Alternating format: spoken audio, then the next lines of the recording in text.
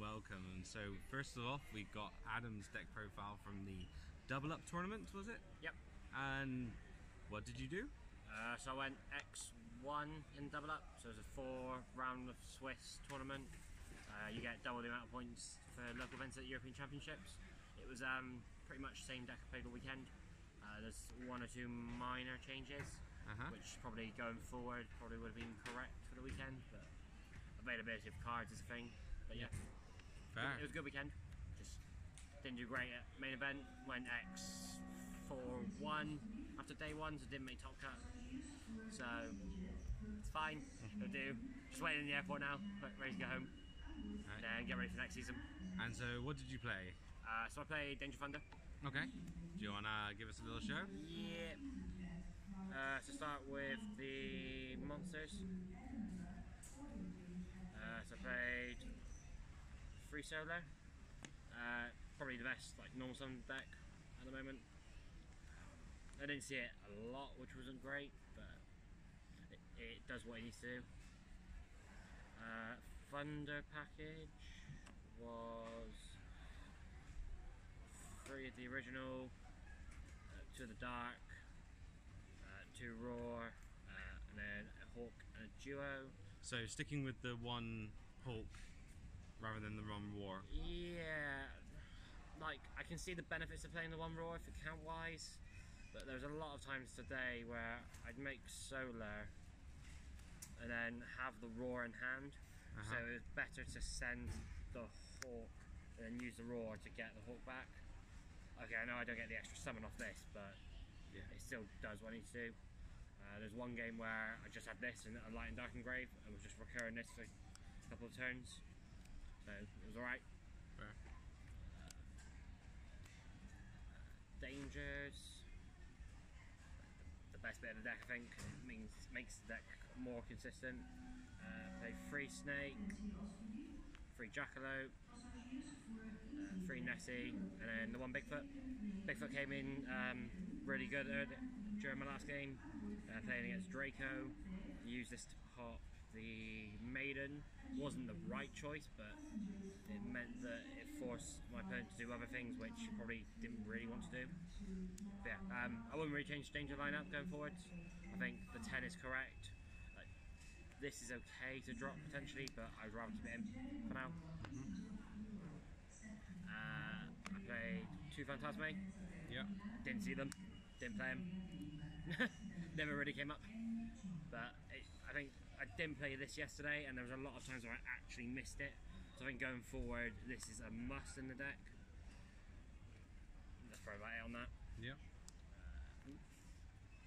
Uh, I played Free Levianeer.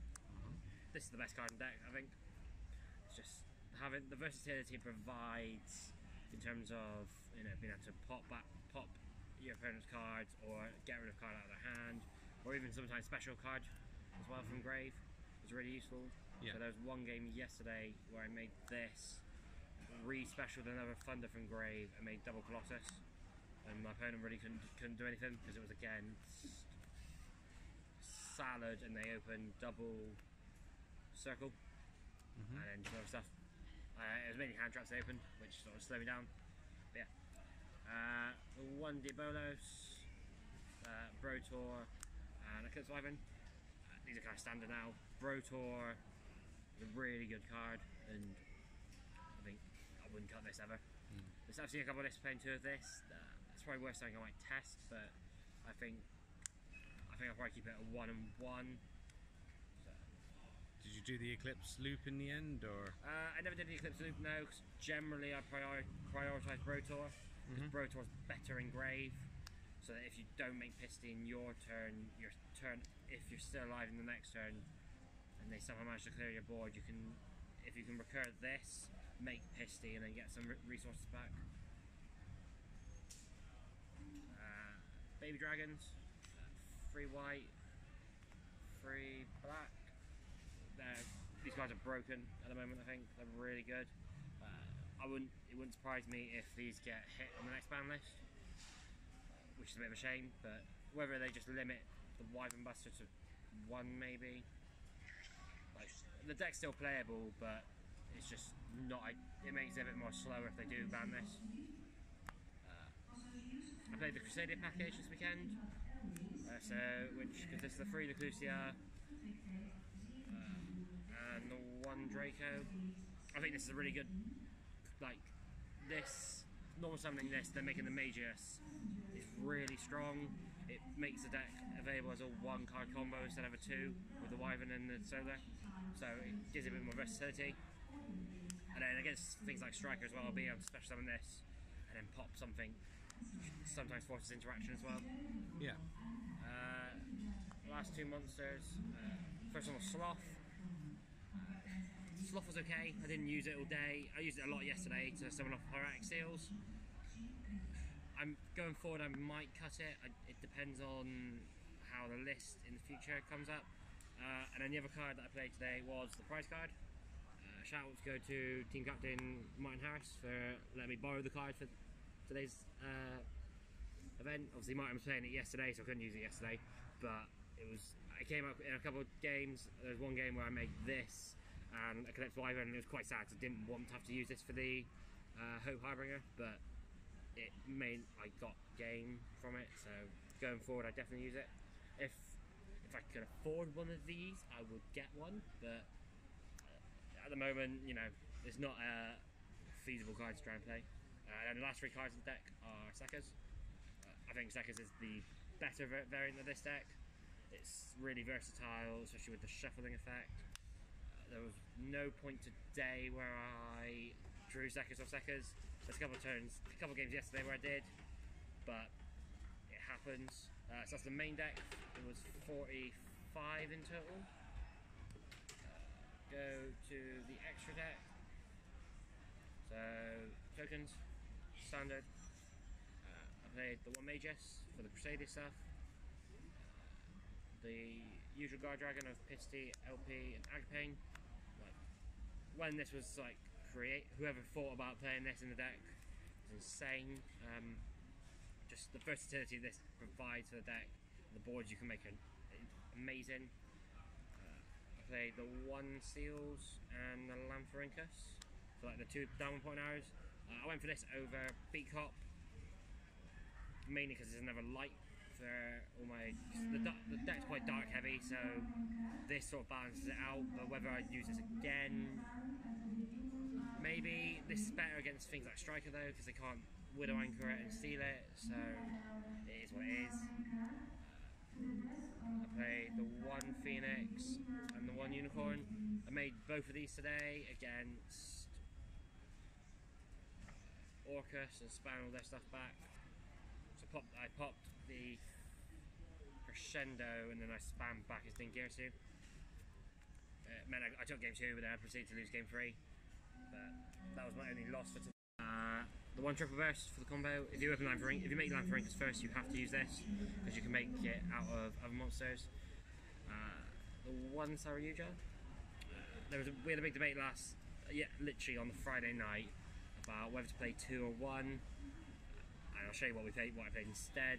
Going forward, I'm still not keen on one. There's a couple of times today where I could have done with the second, but uh, this I'm anticipating to be hit on the next ban list and limited to one, so I think one will be staple for, for going forward. Last link for was Borreload, mainly because there's some decks that if, they, if someone makes Borreload, my only out is either this or Levianeer, so it's better to have this to steal their Borreload. Uh, yeah.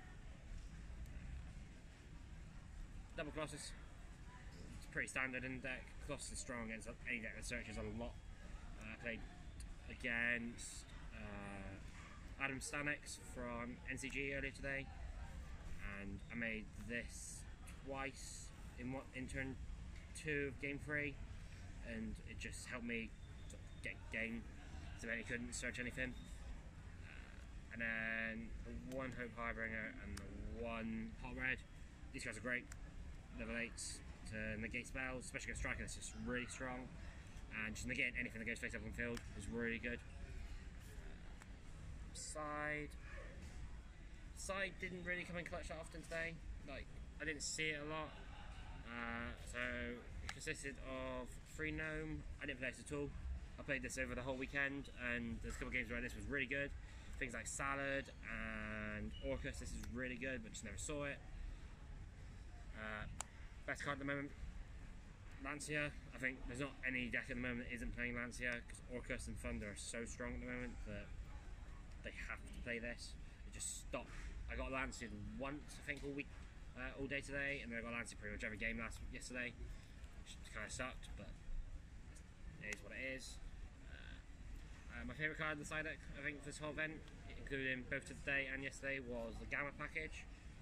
Uh, I've come to the conclusion Gamma is probably the best hand trap at the moment because it interacts with pretty much anything that your opponent does.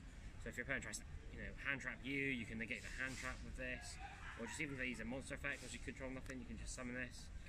I've had instances where people have tried to have Lanciered and then they try to do something and I've done Gamma and I get to keep the Gamma, which is really strong going second. But then going second, because I then start with two monsters on board to start a combo.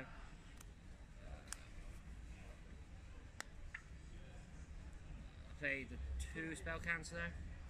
Uh, I lent one out. I think I wasn't sure I was definitely going to be able to get three, but then I managed to pick up a third on the, the Friday after I handed my deck list in. So, but I didn't see any striker in the main event, which was probably just down to where I was placed on tables, and then I only played one striker in the event today, so it's fine. I, think this is a really strong card at the moment. I think it's been slept on for quite a while, but since sort of the national season has picked up, this has become more relevant. Uh, last cards played were three Twin Twisters, just for removing any back row decks, so Geist or Draco. I didn't see this at all in my two in my Draco matchup today. I mean, if I had seen it, it probably would have been great because I didn't see it. It's fine. Um, and that's the deck for the weekend.